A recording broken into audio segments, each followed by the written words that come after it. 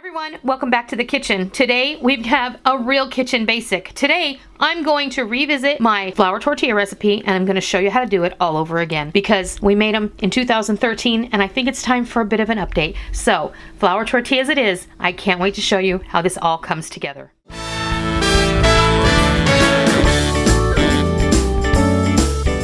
Today we're going to go ahead and we're going to remake my homemade flour tortilla video that was from 2013. But I thought, considering the current climate, making homemade tortillas might be something that would be super simple and uh, fun for everyone to learn how to make if you've never tried making them.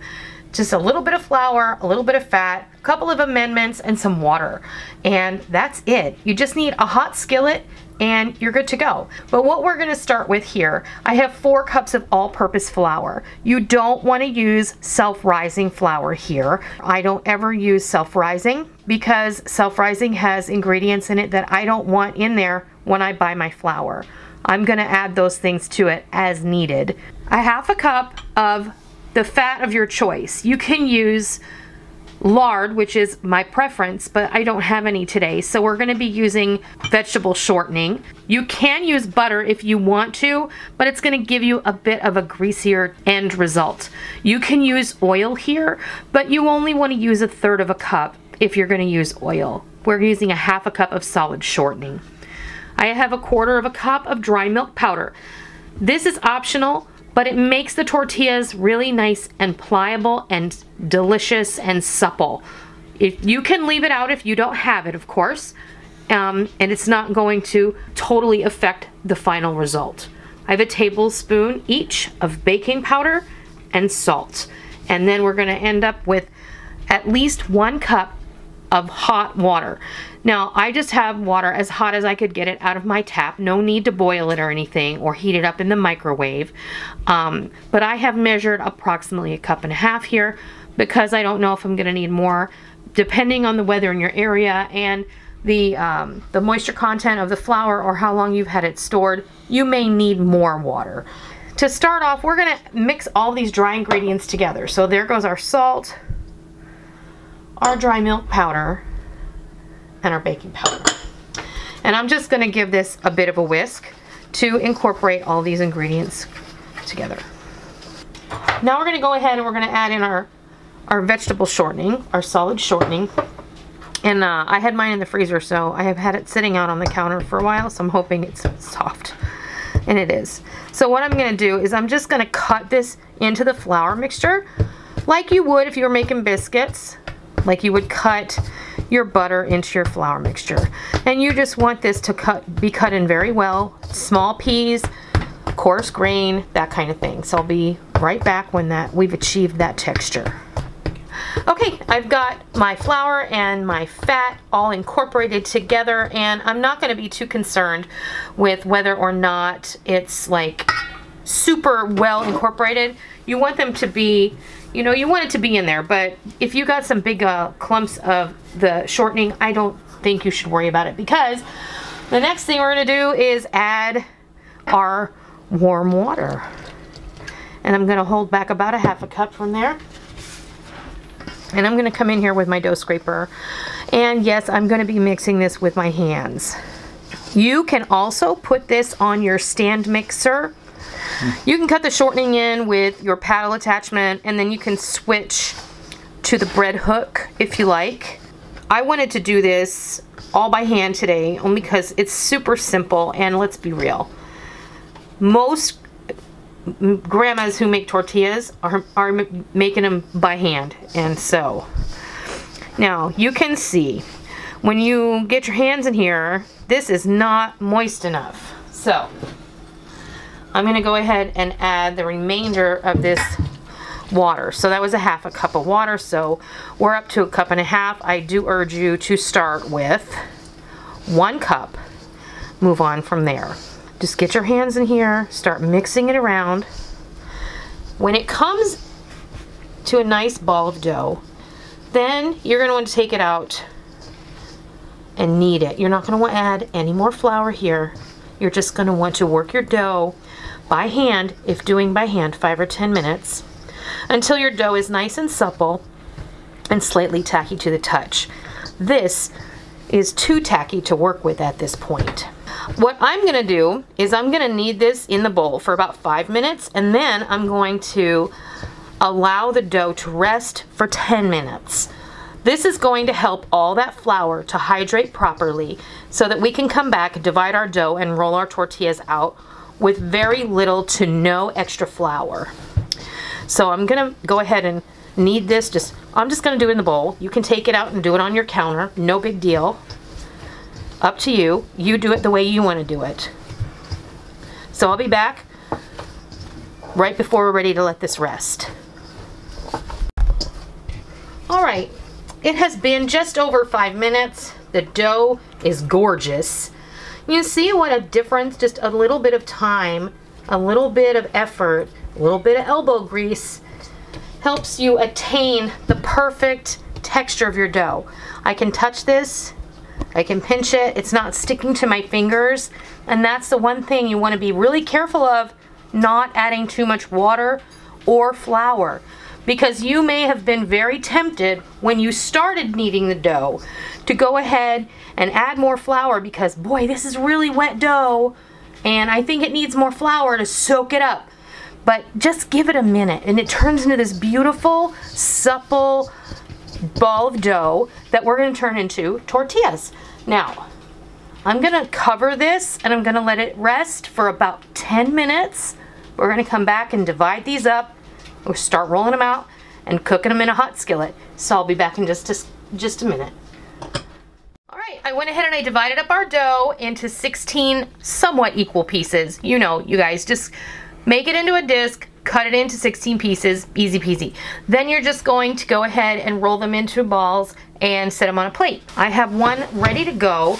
I'm just gonna cover this dish with a bonnet, set it off to the side so that they don't dry out. We're just gonna roll these Tortillas, really, I like them not terribly thin, but I don't like them so thick that they're gonna be like bread. Them that custom rolling pin I made you. Yeah, it's part of a closet rod. now, we're gonna be using these for tacos, so I'm making taco size tortillas today, but you can um, divide your dough any way you like and make larger tortillas.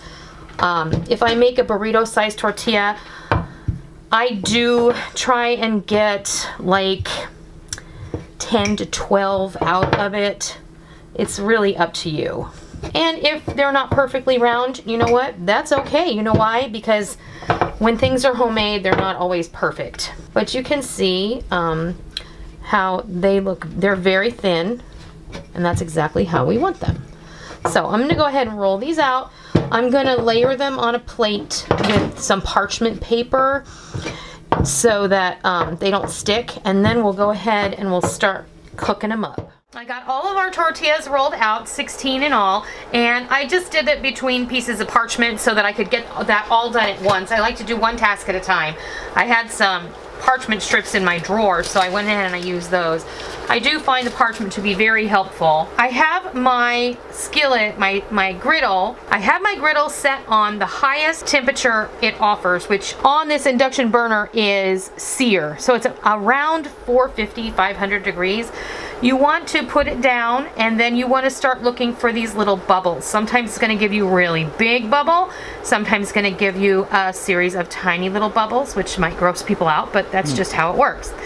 This is a good indicator that you got really good hydration on your dough as well as really good incorporation of the shortening.